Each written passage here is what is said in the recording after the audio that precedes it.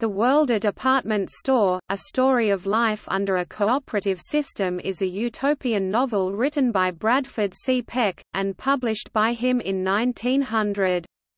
The book was one entrant in the wave of utopian and dystopian writing that occurred in the late 19th and early 20th centuries.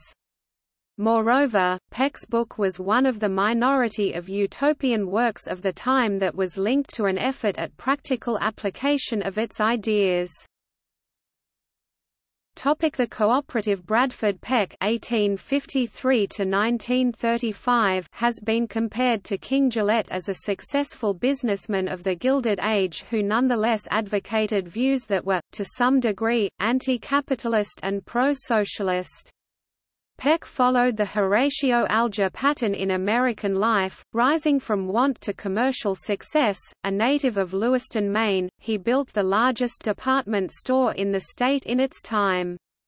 In reaction to the chaotic business conditions of the Panic of 1893, Peck began to develop a commitment to the emerging cooperative movement.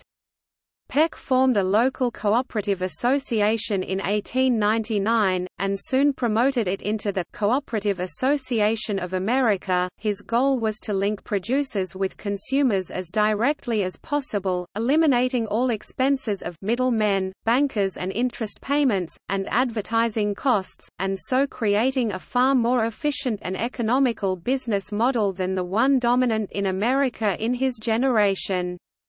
The association established a co-op grocery and restaurant, and opened a reading room. Peck later transferred the ownership of his department store to the association so that its profits would support the cause. Peck organized conventions and other activities to promote the cooperative movement. The association tried to form a cooperative community in Oregon in 1906, but without success.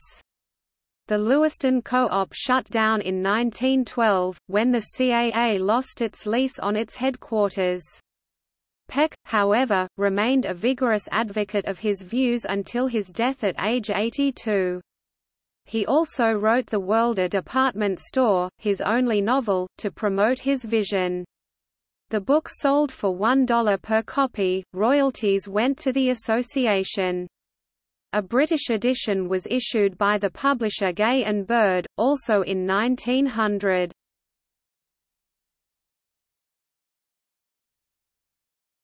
Topic: Influences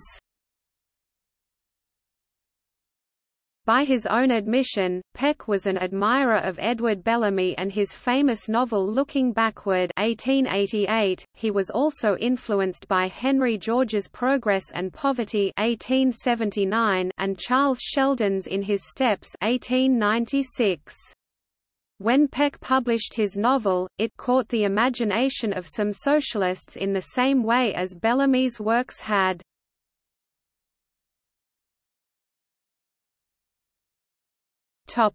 The book The plot of the novel begins on April 7, 1925. The opening chapters introduce two young men, George Wilkinson and Harry Childs, and their girlfriends, Mabel Clay and Alice Furbish. The young men are roommates, as are the young women, they all work for various functions of Cooperative City. They are struck and fascinated by the story of Percy Brantford, which they read in that morning's newspaper. Brantford had been a successful businessman of the late 19th century, though like many men of that type he suffered from the intense stresses, anxieties, and uncertainties of the commercial world. He used a sleeping potion to combat his insomnia. On the night of December 31, 1899 in popular reckoning, the last day of the century, Brantford took a double dose of his sleeping powder, he lapsed into a coma and slept for 25 years.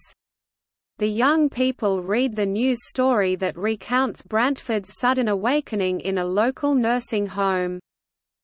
The committee that runs the city appoints Childs and Wilkinson to be Brantford's guides in his adjustment to the new social and economic reality. Brantford is amazed to learn that the cooperative movement has transformed the Lewiston he knew into Cooperative City, which is run on a vastly different and improved system.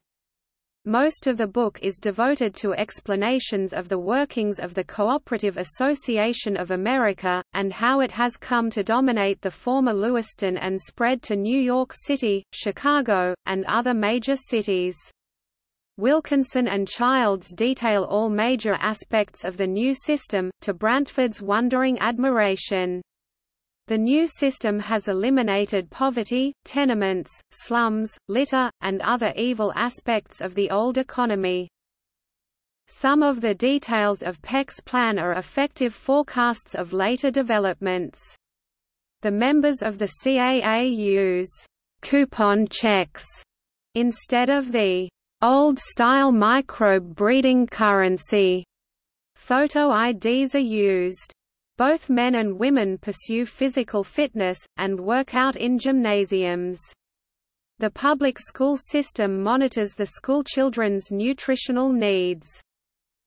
Brantford, for his part, reminisces about the bad old days of Gilded Age capitalism. He recalls a system so irrational and rapacious that every man in business necessarily had a dishonest career.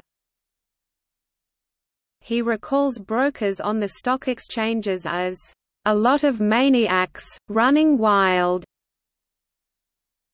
and makes similar remarks on the conditions of the earlier age. The plot retains at least a vestigial human interest storyline. The young people have a neighbor named Helen Brown, she and Percy Brantford develop a romance, and in the end the three couples join in a triple wedding. Throughout his book, Peck stresses that the new economic and social system has moral and ethical and even religious implications. The regime of Cooperative City and the CAA empowers a true cooperative Christian existence, instead of frustrating people's normal drives to neighborliness and virtue. Through cooperation, humanity has formed itself into a practical Christian organization.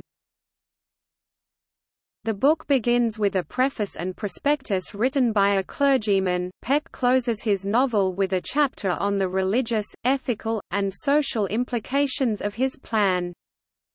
As a result, Peck's novel has been termed a social gospel book.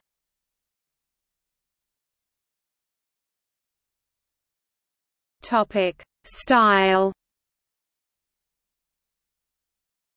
Peck was not an experienced writer, and made no pretensions to literary quality in his work. His book has been criticized for its inept and pretentious style. He wrote in the manner of popular magazines, travelogues, and advertising copy. Cooperative City is the most beautiful city in all the world, and its buildings and features are described as delightful, elegant, heavenly, and magnificent. As Brantford progresses through his tour of the city, his comments are along the lines of, "...wonderful, wonderful, and what marvelous changes from my former life." In describing a private home, Peck writes, our readers, no doubt, will feel interested to know something of the character and style of this beautiful home, here was to be found every convenience and luxury known to those living in the last century. Beyond the verbal expression, Peck's aesthetic is shaped by his professional experience, his future is clean and polished, well organized and brightly displayed. His world is very much like a department store.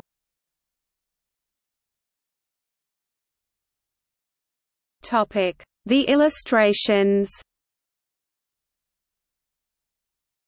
Peck's book was furnished with multiple illustrations by Harry C. Wilkinson. This sets it apart from most utopian works of the era, though King Gillette's The Human Drift 1894 was similarly well illustrated. Wilkinson's pictures show outside views and floor plans of the buildings lavishly described by Peck, as well as street plans of the city's neighborhoods, and a coupon check Book